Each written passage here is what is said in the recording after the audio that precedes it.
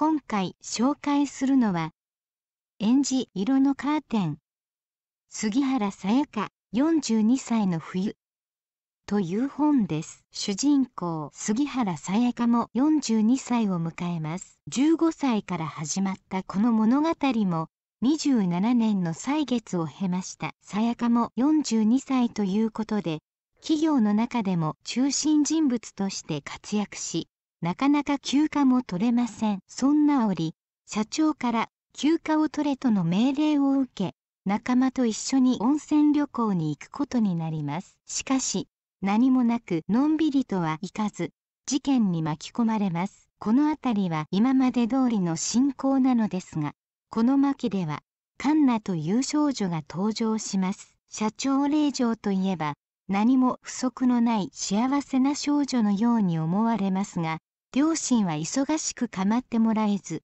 孤独な日々を送っています。そして、その孤独から学校をサボって中年の男性と友達になります。このことが事件の発端となり、物語は進行します。この本のテーマは、この少女の成長にあると思いますが、それをもっと書くためには時間の制限が大きいように思います。彼女の成長を示唆して終わります。時間に登場するかどうかわかりませんが、その成長ぶりを今後の巻で読みたいものです。以上、興味のある方は、実際の商品を Amazon などでご確認ください。今回は、最後までお付き合いありがとうございました。よかったら、チャンネル登録をお願いいたします。